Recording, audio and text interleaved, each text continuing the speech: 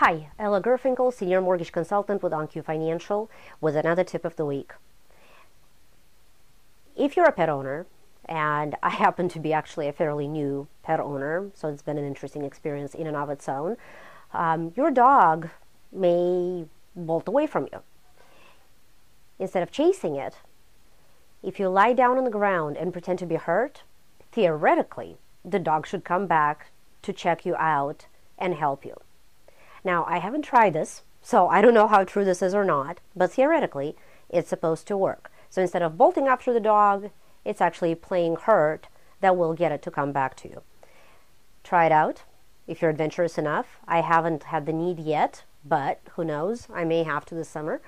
And that is something new that I learned recently.